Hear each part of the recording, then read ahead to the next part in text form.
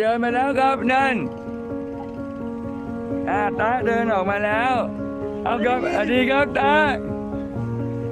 สวัสดีครับเอาครับมากล้องนู้นเลย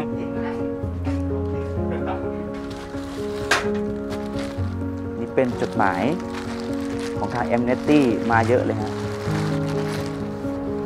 สิ่งนี้เลยฮะที่แบบทำให้ผมแบบ มีกำลังใจขึ้นมาอีกครั้งนึง อย่างผมติดในเรือนจำอะเขาถามผมว่าเองมาคดีอะไร ผมก็บอกว่ามาวัตถุระเบิด ลูกเกี้ยงเหรออย่างนี้เลย ไม่ใช่ผมบอกไม่ใช่พี่ ก็เป็นลูกกระทบธรรมดานี่แหละ ลูกประทัดยักษ์อะจำนวนมากผมคิดว่าเกือบทั้งหมดนะในเรื่องระเบิดเนี่ยไม่ใช่เป็นระเบิดแบบระเบิดจริงๆ คือผมเคยทำคดีระเบิดตอนชุมนุมมา มันเป็นอ LG มันเป็น LGD ไฟเป็นระเบิดแบบนึกออกไหมลูกน้อยหนาแต่พวกนี้ไม่ใช่ พวกนี้แม่งเป็นเป็นประดิษฐ์อะ พี่เชื่อมั่นมากว่าคดีครอบครองระเบิดหรือประทัดเพลิงเนี่ยมันคงไม่ได้มีแค่ม็อบดินแดงหรอก มันต้องมีโจในจังหวัดไหนสักแห่งที่ได้ประกันตัว ดังนั้นถ้าจะพูดแบบนี้ใช่ เห็นด้วยกับทวิตเตอร์คนที่เข้าไปบอกว่าทำให้มันเป็นคดีธรรมดาทำให้มันเป็นคดีธรรมดาสิจะมาทำให้มันเป็นคดีการเมืองทำไม และเมื่อทำให้มันเป็นคดีธรรมดาหมด พี่เชื่อมั่นด้วยนะ ว่าไอ้คนที่ติดคุกหลายๆคนจะได้ประกันตัว ยิงยิงเข้ามา ออปาเห็นแม่งเลย เออรถเหรอรถอันนี้ใช่รถมั้งอะอุ้ยรถรถพัง เออรถพังไว้เนี่ยตะโกนมาดิมึงสู้อะสู้ไหมสู้เปล่าสู้เปล่าสู้ไหมสู้ไหมสู้ไหมอย่าไปกลัวพระเจ้าที่ข้างในอะ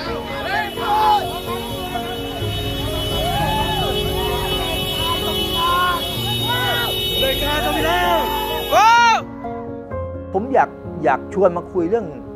เรื่องลิมิต หรือว่านิยามของของของคำว่าการใช้ความรุนแรงในไทยอะผมคิดว่ามันมีปัญหาอยู่ความรุนแรงเป็นคดีการเมืองหรือเปล่านะครับการก่ออาชญากรรมที่มันเป็นความรุนแรงมันก็เป็นคดีการเมืองได้ แต่การชี้ว่าอันนี้เป็นความรุนแรงโดยโดยสภาพเนี่ยก็เป็นสิ่งที่ที่ถูกต้องที่ทำได้นะแต่หมายความว่าการที่จะไปตีกรอบของมันบอกว่าถ้าเป็นความรุนแรงแล้วเราอย่าไม่ไม่สมควรที่จะได้รับสิทธิ์เลยเนี่ยอันนี้ไม่ใช่ ผมคิดว่าในกระแสประชาธิปไตยเองก็ไม่ได้ปฏิเสธเรื่องนี้นะ เช่นการก่อวินาศกรรมหนักๆในสามจังหวัดชายแดนภาคใต้อย่างเงี้ยเขาก็ต้องมีทนายความใช่ไหมครับมีสิทธิในการประกันตัวไอสิทธิในการประกันตัวเนี่ยเนาะหรือว่าการปล่อยตัวชั่วคราวเนี่ยนะครับมันอยู่ในประมวลวิธีพิจารณากฎหมายอาญาอยู่แล้ว แล้วมันก็จะมีเกณฑ์อยู่แล้วที่เป็นข้อยกเว้นนะครับว่าเมื่อไหร่ที่เขาจะ ไม่ได้สิทธิ์นี้ ซึ่งมันไม่ได้เป็นเรื่องที่เกี่ยวข้องกับว่านะฮะเป็นการให้ท้ายนะครับ หรือว่าสร้างความชอบธรรมให้กับการกระทำผิดแต่อย่างใด มันเป็นเรื่องของเป็นเป็นหลักการพื้นฐานของยุติธรรมอาญา ตีรถตำรวจอย่างเงี้ยเป็นคดีทำให้เสียหายซึ่งทรัพย์สิน เป็นคดีอาญาใช่ เพราะงี้ในคดีทำให้เสียหายทำให้เสียทรัพย์อะเขาได้ประกันกันหมดแหละมีคดีทำให้เสียทรัพย์ในประเทศไทยกี่คดีที่ไม่ได้ประกัน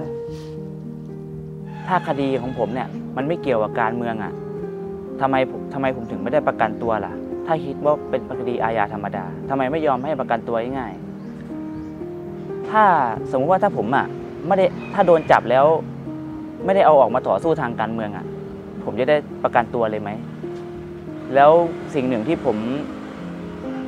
เห็นมาตั้งแต่ติดในเรือนจำก็มีคนที่คดีเหมือนผมเหมือนกัน เขาได้ประกันตัวนะเขาอยู่แค่เจ็ดวันเขาได้ประกันตัว ซึ่งมันชัดเจนชัดเจนมากๆเลย กับคนที่เอาออกมาแค่ไปมีเรื่องชกต่อยกับ เด็กช่างสถาบันธรรมดาเนี่ยกับดูเบา แต่กับพวกเราเนี่ยทำไมมันดูยิ่งใหญ่จังเลยทำไมมันดูรุนแรงจังเลยทำไมมันดู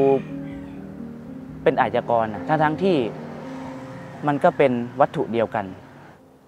ดังนั้นพี่เสนอเห็นด้วยกับชาวทวิตเตอร์ที่ใต้ศูนย์ทนายว่า ให้ทำให้มันเป็นคดีธรรมดา แม้กะทิแม้คดีการเมือง คุณก็ต้องทรีตมันเหมือนคดีธรรมดาทั่วไป ไม่งั้นมันก็จะกลายเป็นว่า พอมันเป็นการเมืองแล้ว มันได้รับการปฏิบัติพิเศษ จะพิเศษดีหรือพิเศษแย่กว่าเราค่อยมาคุยกันนะ แต่จริง ๆ ไม่ได้ เพราะงี้ถ้าคุณไปปฏิบัติให้คดีการเมืองพิเศษจนดีกว่าคดีอื่นอะ เอามันก็ทำให้ชาวบ้านคนอื่นที่เขาพกระเบิดธรรมดาเสียสิทธิ์ด้วยเหมือนกัน ชั้นใดก็ชั้นนั้น สมมติบอกว่ากล่าวหาว่าเขามีระเบิดอะเขาก็มีระเบิดในม็อบอะโอเค กับคนมีระเบิดในตลาดก็ต้องให้ประกันทั้งคู่อะเพิ่งผมก็ยอมรับนะว่าผมพกของไปจริง แต่ในเรื่องการพกของของผมเนี่ย มันไม่ใช่ว่าอยู่เฉยๆพวกผมก็เอาออกมาเลยนะ พวกเราแบบต้องอดทนกับความเจ็บปวดมามากเลยนะ กว่าเราจะตัดสินใจว่าเฮ้ยเอาไงดี เราจะตอบโต้ แบบฟันต่อตาตาต่อตาฟันต่อฟันเลยไหมหรือว่าเราจะรอก่อน หรือเราจะอดทนก่อนจนกระทั่งม็อบอจำได้ว่าม็อบรีเดม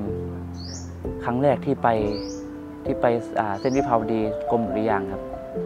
เป็นม็อบแรกที่ผู้ชุมนุมโดนกระสุนยาง ซึ่งตอนนั้นน่ะพวกผมต่อสู้ได้ใช้สีมาตลอดเลยนะ จะโดนอะไรก็แล้ว แต่จะโดนฉีดน้ำโดนอะไรก็แล้วก็โดนสี อดทนกับความเจ็บปวดมาตลอด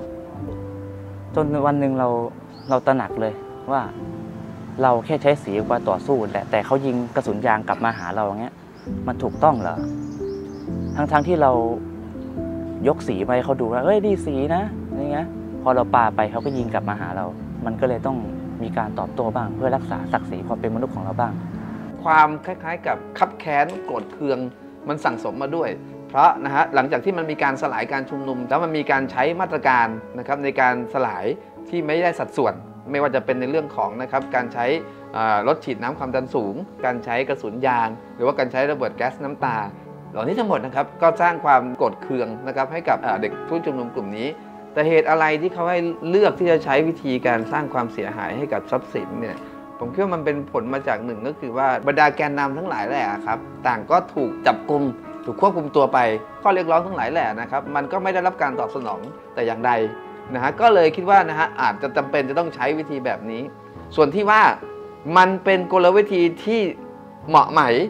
อันนั้นมันเถียงกันได้วิธีการแบบเนี้ยมันจะแสวงหาแนวร่วมนะฮะหรือว่าจะบรรลุข้อประสงค์ได้หรือไม่ หรือเอาก็จริงแล้วนะครับทำเพนเทนนี้ก็เพียงแต่นะครับ มุ่งหวังว่านะฮะอย่างน้อยที่สุดสังคมยังเห็นนะครับว่ามีกลุ่มคนที่ยังไม่ยินดีที่จะอยู่ภายใต้สภาวะการแบบนี้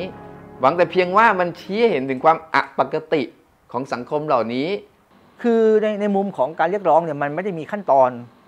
ขนาดนั้นนะครับคือเรากำลังพูดถึงสังคมที่เราอยากเห็นเนี่ยส่วนขั้นตอนเนี่ยมันเป็นอีกเรื่องหนึ่งคือเราเวลาเราไปถามออย่างหลายคนหรือบางคนที่ออกมาร่วมชุมนุมเนี่ยทำยังไงให้บ้านเมืองเราเป็นประชาธิปไตยเนี่ยยาก คือการคิดขั้นตอนมันเป็นอีกอีกคอนเซปต์หนึ่งแต่ว่าถามว่าสังคมประชาธิปไตยที่คุณใฝ่ฝันคืออะไรอันนี้ตอบได้แต่ไปถามขั้นตอนเนี่ยผมคิดว่ามันไม่ใช่เรื่องที่เราจะเข้าใจหรือว่าการจะกำหนดได้ มันเป็นอีกอีกอีกเลเวลหนึ่งของของของเรื่อง ถามว่าเขาผิดไหมก็อาจจะผิดก็ได้นะ หรือถามว่าถ้าไม่ถ้าไม่มีคนแบบเนี้ยสังคมมันจะยิ่งถอยหลังหรือเปล่าก็อาจจะใช่ด้วย คือตอนนี้มันมันมันมาถึงจุดที่ เราไม่ได้มีประสบการณ์เรื่องนี้ร่วมกันขนาดนั้นอะ มันไม่ใช่เรื่องการให้ประยุทธ์ลาออกเฉยๆมันไม่ใช่เรื่องเผด็จการออกไปอะแต่มันกำลังพูดถึงทุกองค์คาพยพที่มันอยู่สังคมซึ่งมันเรื่องใหญ่มากมันโคตรใหญ่อะถ้าเพื่อนข้างในเขามารู้ว่าข้างนอกอะมันยังไม่จบไม่สิ้นสักทีอะเขาจะเป็นยังไง เขาจะต้องอยู่อีกนาน มันก็ทำให้พวกผมโกรธแค้นเหมือนกันนะ ไม่ว่าเราจะสู้ด้วยวิธีไหนนะ พวกนั้นเขาก็อยากจะกำจัดเราอยู่ดี ก็ง่ายคือเขาก็เฮี้ยกับเราอยู่ดีอะ เขาเราเป็นเราเป็นภัยความมั่นคงของชาติไปแล้วเหรอประมาณนี้เราจะต้องมีไอเดียก่อนว่าทำไมเราอยากให้สังคมเป็นแบบไหน เราอยากให้สังคมเป็นแบบตาต่อตาฟันต่อฟันไหมขโมยตัดแขนเลย หรือเราอยากได้สังคมที่สุดท้ายแล้วเนี่ย มันคนมันอยู่ด้วยกันได้ สุดท้ายถ้าทุกคดีได้รับการกระทำได้รับการพิจารณาเหมือนกันหมด ไม่มีคดีไหนถูกทำให้พิเศษกว่าคดีไหน ไม่มีจำเลยคนไหน ถูกมองว่าอันนี้เป็นเคสพิเศษต้องดูแลกันอย่างพิเศษ พี่ว่าเราจะไม่มีปัญหาเรื่องความขัดแย้งคดีทางการเมืองหรือคดี1นึเลย สิ่งที่เราเผชิญมาในทุกวันนี้เนาะนะครับที่มันเป็นปัญหามาอย่างต่อเนื่องนะครับสำคัญสำคัญเลย มันมาจากรัฐธรรมนูญ60 นี่แหละนะฮะซึ่งเป็นตัวที่กำหนดกติกาที่มันบิดเบี้ยว นะครับแล้วมันทำให้เราต้องต้องทนอยู่กับความบิดเบี้ยว แล้วมันก็ต้องแสดงออกนะครับถึงความไม่ยอมจำนนต่อความบิดเบี้ยวนั้นในลักษณะต่างๆ คนที่ถูกควบคุมตัวอยู่ในตอนนี้ฮะที่ถูกต้องคดีในตอนนี้มันก็เป็นส่วนหนึ่งของการนะครับไม่ยอมรับนะฮะความบิดเบี้ยวที่ว่านั้นฉะนั้นผมคิดคิดว่ามันก็จะมี 2 เรื่องนะฮะใหญ่ๆนะฮะเฉพาะหน้าที่เกี่ยวข้องกับพวกเขาโดยตรงนะครับก็คือนับพวกเขานะครับเป็นส่วนหนึ่งของนักโทษทางการเมือง